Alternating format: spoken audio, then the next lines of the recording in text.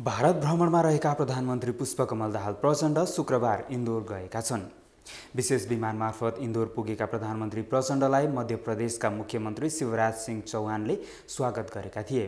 त्यस्तै उनलाई नागरिकले नेपाल र भारतको झण्डा फहराएर सम्मान प्रकट गरेका थिए। शनिबार प्रधानमन्त्री दाहाल नेतृत्वको प्रतिनिधि मण्डलले टिसिएस इन्फोसिस विशेष आर्थिक क्षेत्रको भ्रमण गर्ने कार्यक्रम छ। त्यसअघि शुक्रबार बिहान नयाँ दिल्ली स्थित आफू बसेको होटल आइटिसी मौर्यमा नेपालका सञ्चारकर्मीसँगको कुराकानीमा उनले ऊर्जा व्यापारको क्षेत्रमा ब्रेक थ्रु भएको बताएका छन्। सीमा क्षेत्रमा देखिएको समस्या समाधान गर्न भारतले पहिलो पटक प्रतिबद्धता जनाएको प्रधानमन्त्री प्रचण्डले बताएका छन्। प्रधानमन्त्री प्रचण्ड भारतीय प्रधानमन्त्री मोदीको निमन्त्रणामा यही जेठ सत्र गतेदेखि भारतको औपचारिक भ्रमणमा रहेका छन्। प्रधानमन्त्री प्रचण्ड शनिबार स्वदेश फर्कने कार्यक्रम छ।